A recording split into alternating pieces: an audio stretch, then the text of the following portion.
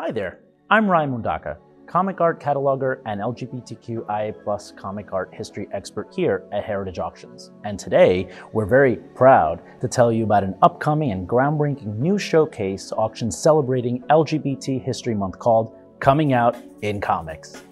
This month-long showcase auction will highlight characters, artists, and for the first time, writers who are all out and proud members of the queer community. Some key pieces we're proud to offer are powerful original covers featuring characters like America Chavez, momentous pages such as Iceman and Romeo's first kiss, and the crown jewel of the auction, the iconic laughing Prince Adam animation cel that we recognize from that hysterical YouTube video and meme.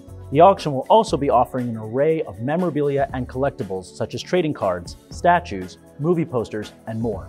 And owing to the wide range of items and in keeping with the spirit of inclusivity during this historic month, this showcase welcomes both new and seasoned bidders with collectible pieces that will accommodate any budget. Heritage Auctions will also be donating a portion of the proceeds to the nonprofit organization Prism Comics in support of their ongoing efforts to assist aspiring LGBTQIA comic creators. So join us in making history as Coming Out in Comics comes out starting September 29th through October 27th.